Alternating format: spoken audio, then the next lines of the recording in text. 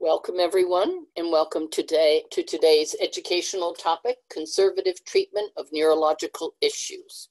Our presenter today is Dr. Deirdre Chiaramonte, who received her DVM from Tufts University School of Medicine, and she is a diplomat of the American College of Veterinary Internal Medicine. She has been the staff internist and the director of the Tina Santi Rehab and Fitness Unit. And Dr. Chiaramonte is certified in canine and equine rehabilitation and acupuncture. Current interests are in the fields of rehabilitation, obesity, and geriatrics. She is currently the president of the Veterinary Medical Association of New York City, and she is the director of clinical education at the Assisi Animal Health we welcome Dr. Chiaramonte. Hello, everybody. Thank you for joining us. Um, I was worried I was going to lose power because I was in the middle of like a thunderstorm, but now the sun is shining. So um, it's a beautiful day. I hope it is where you guys are. So we're going to talk about conservative management of intervertebral disc disease. Oh my God. Oh. Uh -huh. Okay, sorry, there we go. Um, intervertebral disc degeneration is an imminent effect of aging in dogs. There are two common types that we come across all the time. Classic type 1 disc disease is common in the small breed chondrodystrophic dogs such as a Dachshund, French Bulldog, Pekingese, Beagle, Basset Hound, and Shih Tzu. Part of their intervertebral disc undergoes changes um, and that alters the disc biomechanics and relationship down the spine. Continued abnormal forces on the disc will cause the dorsal portion to weaken, and then there's an acute injury which is extruded into the vertebral canal, causing the sudden onset of painful neurologic dysfunction. These usually do not occur uh, before the animal is two years old. In type 2 disease, those are in the non chondrodystrophic large breed dogs. And with this type of degeneration, there are fibrous changes to the disc and concurrent degeneration. This leads to a bulging of the central part with a gradual protrusion into the vertebral canal. So these signs are mostly observed in geriatric animals greater than seven years of age, because this is uh, the cause is chronic compression of the spinal cord and the nerve roots. And just a separate note, I don't know how many of you see shepherds. I've been seeing um, actually a couple in the shelter that I work at. Um, of the non-chondrodystrophic dog breeds, the German Shepherd is at the highest risk of developing intervertebral disc degeneration at the lumbosacral junction because they have a weird joint angle between some of those uh, vertebra.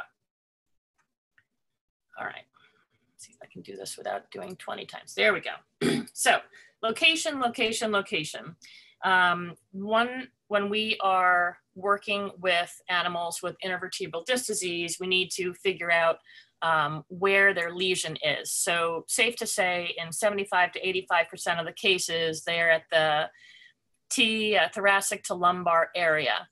Uh, also, there are cervical cases in 15 to 25%. A lot of those cases are the bigger dogs though and we have to grade them so we know A, what we're dealing with, and B, we know how to rehab them in the shelter. So grade zero obviously is normal. Grade one, there is pain. Grade two, there's a muscle weakness with decreased proprioception. That's the ability to feel where their feet are, but they still can walk. Grade three, there's severe paresis, but they don't know where their feet are in relation to their body and not able to walk. Grade four, they're not able to walk or stand. Uh, bladder control may be an issue, but they still can feel deep pain in their feet. And grade five is the worst type of paralysis where there's urinary and fecal incontinence and no deep conscious pain perception. So one of the things we like to do when we get um, intervertebral disc dog in is do gait examination if they're able to actually walk. One of the things is we are all, um, especially in shelters, worried about cleanliness and uh, disinfectants. Uh, so usually there's a smooth tile linoleum type floor. So one things is you have to get the dog actually on a non-slippery surface. Um, But if you don't have those, you can actually use a yoga mat or indoor outdoor carpeting. And then you just watch the animal if they can ambulate around the room, they get used to the surroundings. You should watch the dog um, going straight and in circles to the left and the right.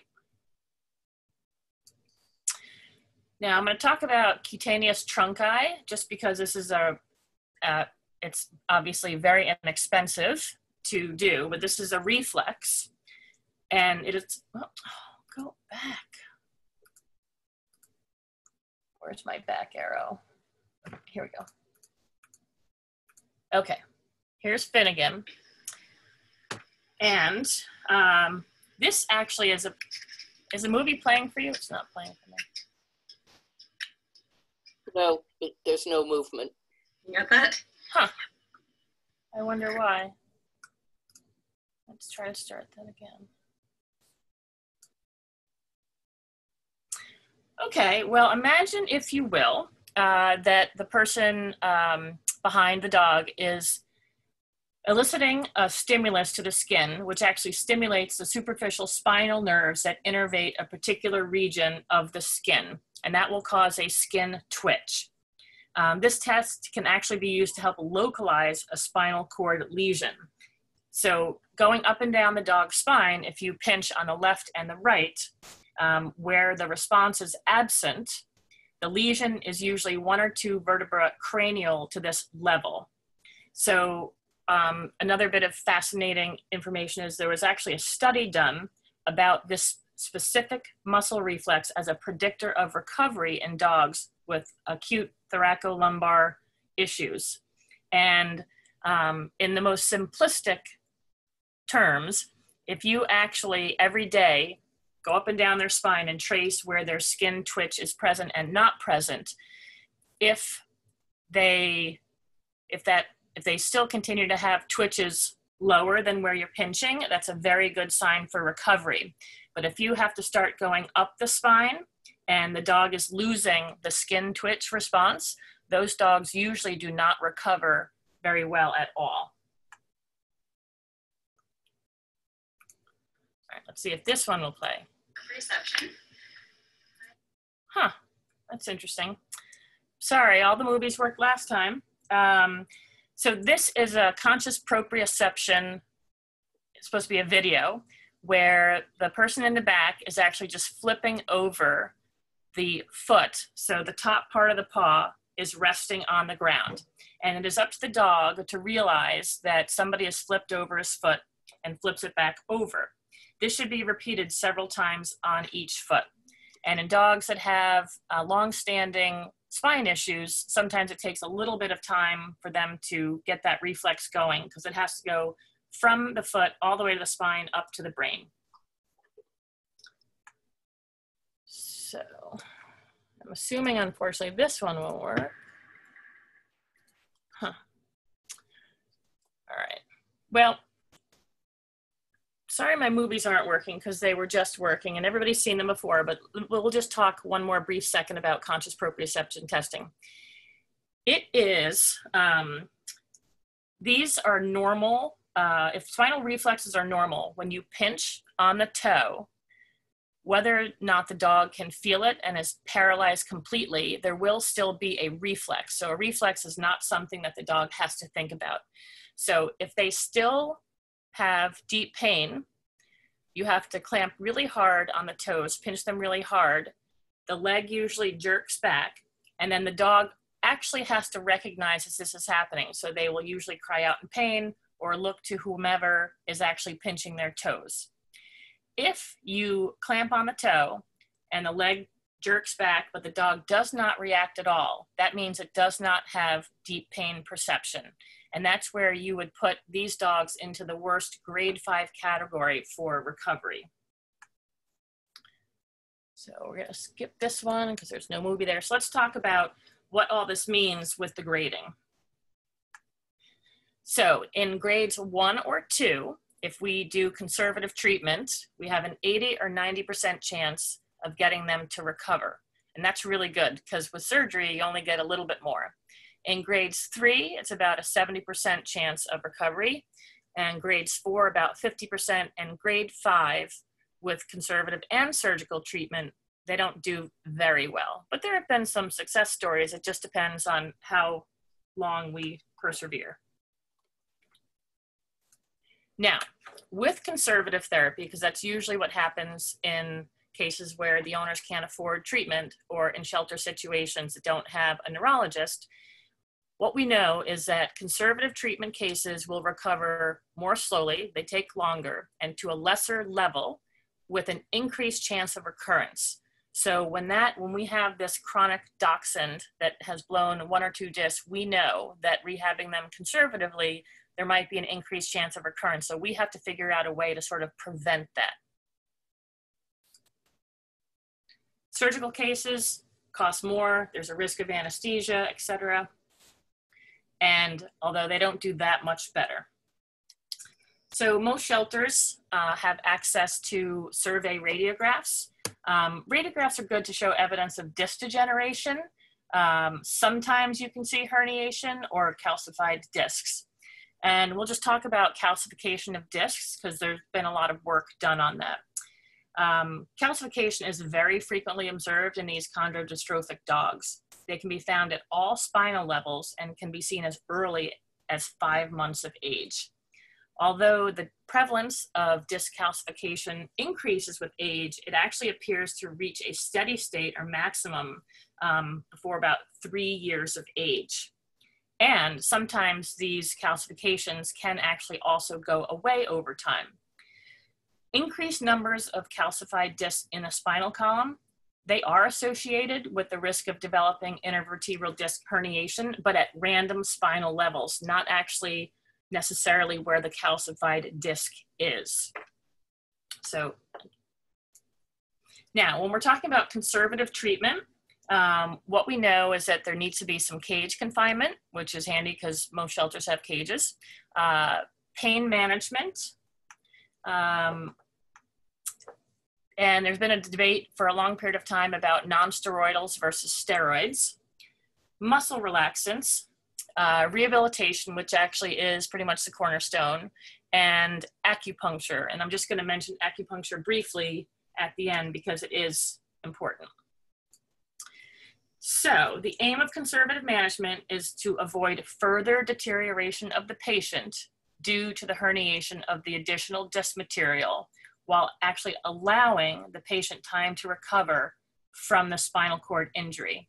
Dogs should be cage confined in a crate for four weeks, taken out to urinate and defecate three to four times a day, and at that time, passive range of motion exercises performed.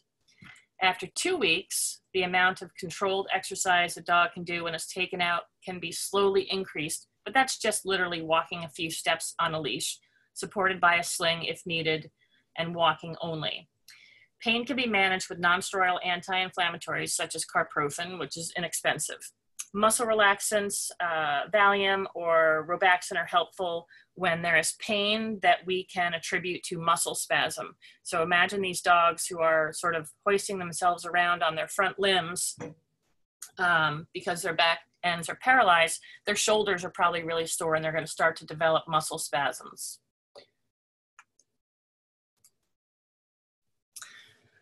Uh, so the age-old argument about steroid uh, versus non-steroidal in an acute incidence of um, intervertebral disc herniation um, is which one to pick. The difficulty with addressing this question is that it's really just too complex. How much of the corticosteroid, which one, which route, for what reason, uh, what length. Um, so the use of steroids can be simplified into two different rationales. The first is to treat the pain and inflammation associated with the disc herniation using the anti-inflammatory doses of PRED or DEX over a five to 10 day period of time. Uh, but unfortunately, there's no data to support the use of corticosteroids in this way. And actually, there have been a few retrospective studies suggested that corticosteroid use was associated with a worse outcome, but um, that trial was not uh, one of the best designed studies. Um, so we know that steroids can be used to reduce pain and inflammation, uh, but sometimes there's too much uh, reduction of pain and inflammation, and they can be overactive. Um, so nonsteroidals um, have both central and peripheral effects in their anti-inflammatory path. Uh, it makes them appropriate for minimizing peripheral sensitization of pain receptors um, and inhibition of cyclooxygenase within the spinal cord to give them analgesic properties. Um, let's see what else we have here. Opioids. Opioids play a very significant role um, in preventing the um, pathway, the pain pathway into the brain. And this is accomplished through their actions at multiple levels from peripheral nerves, spinal cords, up to the brain. Uh, see what else. Gabapentin is really good for uh, pain management and also very good part of multimodal pain plan. Ketamine and other NMDA receptor antagonists such as amantadine, they play a role in analgesic therapy as well. There was a paper that showed that amantadine added to nonsteroidals um, really helped uh, increase pain management in animals that were painful. All right, so if the dog has motor function, it should be able to urinate on its own. Um, people caring for the dogs in the kennel should be able to palpate, palpate and express the bladder. What we don't want is a bladder to remain full and overfull, so you have those stretch receptors because then sometimes the bladders have a much harder time coming back into use. Um, if there's an improvement in two weeks, that's a good sign that um, we can continue with our conservative management. And sometimes we have no option but to continue with our conservative management, but we might wonder if that dog is actually going to recover. Um, as long as they continue to improve, then they can transition to normal activity, walking, maybe a little jogging, but no jumping and no playing. And over five, six, seven, eight weeks, they can continue on this pathway. Now, one of the things besides bladder care to talk about is um, turning these animals to prevent pressure sores and also these animals that are dragging their toes um, will have little uh, pressure sores on top of all of their digits, especially in the hind limbs. So we want to make sure that we look at all these areas and address wound care. Now, for every one day of disuse, so every day that the animal is paralyzed, um, leading, it leads to atrophy, and it takes three days of active rehabilitation to get it back. So you can imagine if the dog is down for one week, it's going to take three times as long with rehab to get it back. So how are we going to get it back? Oh, this, this one works. Range. Okay. Not sure why, but that's good. So passive range of motion is one of the most important um, activities that we can do. And passive range of motion is a movement of a limb performed without a muscle contraction by the dog. The tech, the hander, handler, the kennel person is doing all of the motion. And this is really important to help joint contracture. And also, these dogs that are paralyzed, the leg, when it starts to atrophy, um, the limb actually starts shortening due to soft tissue shortening. The joint kind of compresses down. So it's really important to maintain mobility between soft tissue layers. It'll increase blood flow, lymph flow. It'll um, increase nutrient diffusion through all the joints. So it's important to maintain a range of motion that's within the patient's comfort level. Um, and it should be performed in a quiet environment with the patient relaxed because the last thing you want to do is have that animal be fighting if they actually have some feeling back there. And see the way that that tech actually held and sort of isolated one joint at a time, um, that's the best. Movement should um, start slowly and gentle pressure can be applied for 15 to 30 seconds. Um, and at the end of flexion and extension, sometimes you can just add a little stretch if we're trying to increase um, action of those joints. Now, because passive range of motion is performed without a muscle contraction, it's not actually a strengthening exercise. This is just sort of a whole health body um, feel better thing to do. Now, immediately following trauma, surgery, or overexertion of um, a patient, um, cryotherapy or ice packs are what we need to do. And it, uh, controls pain and inflammation. Ice packs, cold packs, ice compression units, this dog is actually wearing, can be made. You can, made, you can make homemade ice packs by combining one part alcohol with two parts water in a double sealed plastic bag.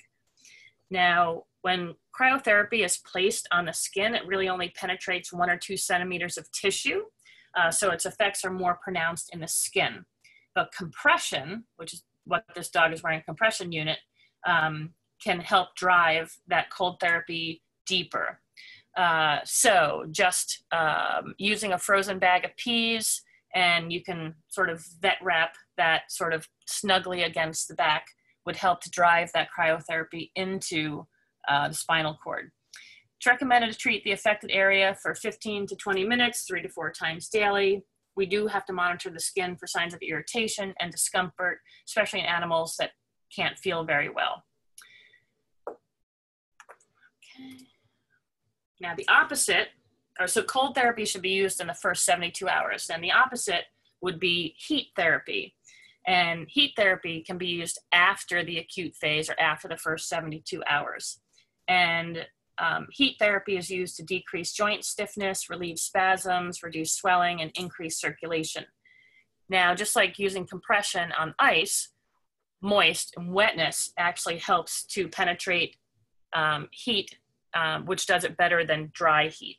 Now, heat should not be used if there's any swelling or edema in the joint limb in the first 72 hours, uh, because sometimes that will actually exacerbate the situation. Laser therapy, um, oddly enough, I know that there's a, quite a few shelters, either they get donated um, laser machines, older technologies. Laser can be helpful in the early stages of treatment to help control pain and expedite healing through changes in cell membrane permeability, etc. Uh, laser also enhances endorphin release, and um, so the technician on the bottom is using laser therapy on the spine, and in the top is actually addressing um, the injured, wounded toes on the dog who is dragging them behind. All right, my favorite part of the talk, pulsed electric magnetic field therapy, um, is sometimes misleadingly called magnetic therapy, which it isn't. Pulsing electromagnetic fields unfortunately encompass um, a huge array of um, a big spectrum, making it almost impossible for people who are just coming into contact with PMF to understand. It's kind of like a generic term like radiation. So it's really important that we know exactly what PMF device we are using. And PMF is an active electromagnetic waveform that's delivered by antenna. And the different technologies are differentiated by parameters of waveforms such as antenna size, duration, and frequency of the application. So this is the battery pack. And then this is actually hand, the antenna, the round black part. So this would actually target a small, smaller area, and this would target a larger area. Um, what's nice about uh, the Assisi loop technology is that uh, it is FDA approved on the human side. And with that, one must prove safety and that every time we send a signal out from this, it is the same signal we do on day one or day 200. Um, we get the question asked about sort of radiation or magnetic therapy or whatever, like a cell phone, you know, can this cause cancer? And the signal strength of the Assisi loop is actually one one thousandth the strength of a cell phone signal. Um, the beauty of what it does is this antenna can actually uh, send the signal through tissue, casts, bandages, vet wrap, you name it. Um, it, and it works to increase nitric oxide production in the body. And nitric oxide production is one of the body's own anti-inflammatory modulators. It can help increase blood flow, decrease edema, decrease pain. And in studies uh, shown, in studies done in humans and in veterinary patients, it has decreased the need for opioid use by about 50%. And while that's fabulous news, regardless, just uh, the issues that we are dealing with opioid use today um, is an issue. So we have come out with um, a treatment pad, which has these loops inside the pad. Um, there's Blake, he's wearing his own little loop. Uh, the Assisi Loop Lounge that has a smaller pad inside a Sleepypod carrier. And this loop aid, which you can actually attach the loop anywhere you want.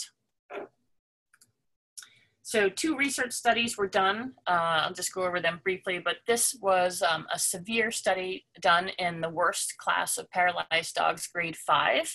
And they got the Assisi loop treatment um, right before they actually went into surgery and then continued for weeks.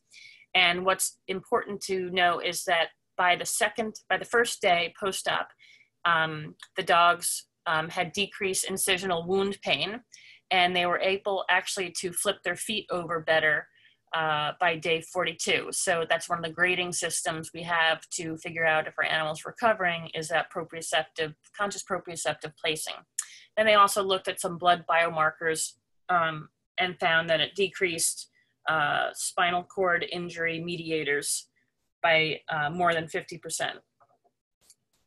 And this was another study done on the Assisi loop um, at the Animal Medical Center in the medium category, grades two through four. And they also found um, that their wound pain scores were better. They found that the dogs actually did walk faster um, and their neurological scoring was better on neurological scoring tests such as conscious proprioception.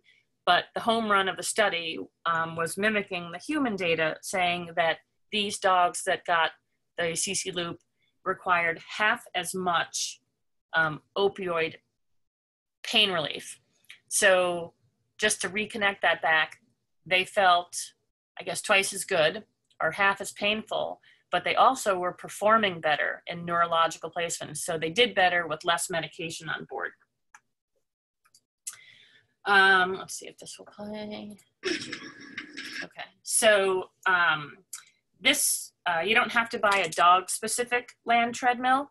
Um, and you can tell this uh, poor pug is pretty kyphotic. You can see where there's an old um, or fairly recent um, scar on the back. The dog is shaved. Um, but what's great about the land treadmill is by using that belt um, under their feet, they're getting a stimulus to move their feet each time, which is really important to sort of connect uh, paws up the spinal cord, up to the brain, so the dog has to think about what it's doing. And there are so many old treadmills out there for sale. Um, probably could even get one donated, which is really um, fabulous therapy for these guys. Now I just put this in there. Oh, yes. Um, I know most shelters don't have an underwater treadmill, um, but sometimes even warm water bath. There are, uh, my cousin actually made a homemade uh, underwater treadmill for his dog. Um, I think it was like 30 yards long, but they were able to use it when their pug had an injury. Um, but it, the warm water helps increase range of motion. Um, it works to provide pain relief. And again, with the belt um, going underneath the dog's body, it's able to stimulate the dog to uh, continue walking. Now, if you also notice, I'm gonna play that again, that the technician is actually manipulating the tail, trying to also have another sort of focal point like, hey, pay attention back here, what's going on? And also, um, every once in a while, this dog will actually take some normal steps besides being dragged. And uh, what I always find encouraging is usually like 99% of the time paralyzed dogs will walk first in an underwater treadmill before they will walk on land. So once you've sort of reached that point of getting them to sort of get that sensory feedback going um, we know that we're sort of hitting a, a home run. I'm just going to mention acupuncture in case uh, there are vets that like to play around with acupuncture in shelters. Um, when you actually insert a needle into the skin and rotate it, uh, collagen elastic fibers will wind and tighten around the needle, which causes a mechanical coupling between the tissues and the needle. And it causes this like pulling on the nerve endings, and then they can interact with muscle spindles. Then there are a whole bunch of cellular cascades that lead to neuromodulation, which can continue after a needle is withdrawn. Um, also, sometimes practitioners will inject B12 or Adequan into those points to sort of keep that um, stimulus there. Um, and a theory uh, uh, also about acupuncture is that it causes a transient overload of pain neurons. So it over bombards um, the spine, which prevents pain signals from actually being transmitted uh, up to the brain. And there have been several studies actually on um, electroacupuncture where that has been a big help in paralyzed dogs. So uh, massage, everybody's poo-pooed massage for a number of years, but it absolutely helps relieve muscle tension, edema, and pain. It encourages relaxation and mobility, it improves circulation and lymphatic flow while removing waste.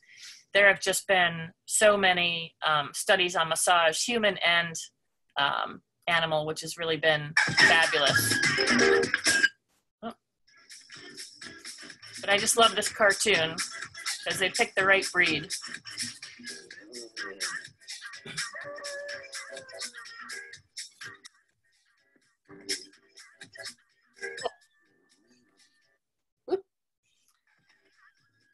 All right, moving on to really what we need to do to get these guys going. So modalities are really good for pain relief, but the thing that's gonna actually strengthen them are strengthening exercise. And those are called therapeutic exercises. So exercise should focus on balance, proprioception, awareness, and strengthening. And standing exercises can be um, started as soon um, as day one. Uh, what's really important is to give support you can use slings, towels, etc. Um, but one of the best things is using these things called called physio rolls. So um, this is actually a dog, right? And this is Buster um, after having uh, surgery, um, but he's just balancing on this physio roll, and the technician is applying gentle pressure to the dorsal aspect of the pelvis, just to trying to get that dog to sort of engage its hind end and core. Um, then uh, we can also prop the dog up because dogs and cats, any patient actually recovers better when they're in the proper postural stance. So these physio rolls are sold for um, very inexpensive on Amazon. Um, and you don't need to go out and buy the specialized dog ones, but they are, um, we know where the plastic is coming from and they're more puncture proof. Um, so this is a very good uh, obviously inexpensive exercise, three-legged standing, and it's an example of an isometric exercise. So when we are strengthening these dogs, we don't want to use concussive um, activities to get them because that's probably not going to do us much good in the short term. Uh, isometric exercises are strength training where the joint angle and length don't really change compared to concentric or eccentric contractions, like if you're going to do bicep curls. Um, so isometrics are done in a static position. And this is Finnegan, our model. And I am holding up his back leg, and that's going to gently shift his weight to his other three limbs. So that's going to engage all of the other limbs and also engage his core, uh, which is going to be important for preventing, hopefully, more discs to blow in the future. um, important to note that the person doing the exercise should not bear the weight of that fourth limb, um, but to get the animal to use all three other limbs. And then you can go around the dog picking up each limb to um, help every muscle. Then when the dog graduates from three limb standing, you can do paraleg standing. So these are opposite legs. Uh, this is also called a Snoopy. And it's excellent for um, then just carrying the weight on the two limbs um, but it's also really good for flexibility because you can tell that that takes a lot more balance. And for dogs that have neck issues or dogs that do a lot of neck work, um, sniffing, pointing, um, this is a really good exercise to strengthen the neck and the trunk. So if you do this with um, contralateral limbs, you can swap contralateral limbs. And then when the dog is even getting more and more balance and stability through its core, you can hold up two legs on one side go from there. All right, this is a dog planking. I don't know why my movies didn't play in the beginning, but anyway, this is a, um, a really good exercise for a hind limb dog. So you could have them step on these uh, rubber uh, balls. I think I bought them, I don't know, 10 years ago for 20 bucks. You can also use a Reebok stair stepper. You can have them put their front paws on your leg if you're sitting down, anything for them to step on. And while they are standing there, just watch the technician gently do some weight shifts. So the dog actually has to focus on standing uh, on both limbs on the hind leg. And you can tell that there's some weakness there, but it's a very good non-concussive exercise. Uh, BOSU um, encourages same principles as a physio but in a different manner. Um, the nub surface also helps provide sensory feedback to the brain. Uh, but this is a really good exercise for balance and coordination. You can also um, just have them stand front limbs on the BOSU and use gentle pressure to the hips to sort of get them to um, uh, focus on weight shifts back there. Uneven surface walking, um, which is also, I think everybody has an old air mattress somewhere. I was surprised how long this actually lasted in our rehab unit. You can tell that dog is ataxic, but trying to walk, first of all, climb up there, walk across, and dismount without falling over is really a good, good exercise to have them um, use their core and their limbs. And the dog is very happy because he's food motivated, etc. Sit. These are sit to stands um, and stand to sits and really good exercise just to encourage use of the hind limbs. It's better if you have somebody standing behind the dog to make sure that when the dog actually sits down, sits square because we don't want to um, encourage um, bad posture when rising. Uh, but anyway, sit to stands are a really good exercise. Cavaletti rails, dirt cheap. You can use broom handles. Uh, these are little things bought at uh, Home Depot. People use ladders. Uh, you could have animals walk through tall grass, snow, water, um, but it just really encourages them to pick up their legs and focus on what they're doing. Uh, this is why all the NFL players will go and run through a set of tires. Don't forget when the dog pees at the end. That's also fun. Um, and then lastly, um, assistive devices. These were usually thought of as sort of the last, uh, you know, he can't walk, let's throw him in a cart, etc. Um, but rehab has been actually moving more towards having these dogs actually um, get in these for actually rehab. So one, um, that dog looks and feels like a normal dog. He's focused on the tech, who's probably getting some food for him. Um, but the posture, you don't want these dogs laying like a sack of potatoes all day because that's not really encouraging anything. Uh, so there are plenty of um, cart makers today. Uh, it's great if a shelter could find uh, an adjustable one such as this to go high, low, wide, etc. Uh, there's also a bunch of um, orthotics and prosthetics, sometimes braces, um, sometimes devices to help um, so the toes don't drag but stay flipped over. But a lot of these devices should be used earlier in recovery and not sort of as a last ditch effort.